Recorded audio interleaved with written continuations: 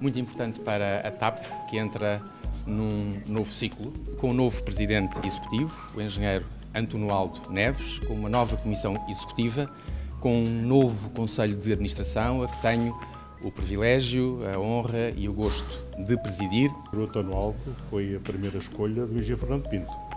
Só por isso, quer dizer, é, na realidade, dá-nos um conforto aos acionistas enorme. Não é? é um dia que eu saio daqui pensando, bom, agora temos uma nova vida e tal, mas principalmente sabendo que tem uma empresa que está no caminho certo e que tem as pessoas certas uh, tocando para frente todo um trabalho que foi feito.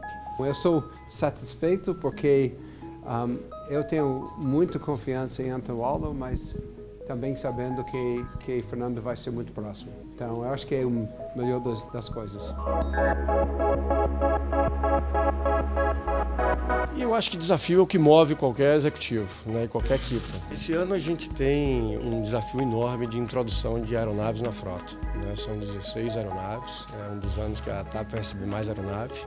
Então um dos maiores desafios que a gente tem hoje é conseguir colocar todas as aeronaves para voar e, em paralelo a isso, melhorar o serviço ao cliente. E eu vou estar pronto para o que a TAP precisar para poder continuar a sonhar grande né, e, e, se transformar numa empresa que, que Portugal merece né, e numa empresa de, de ponta na, na, na, no mundo inteiro.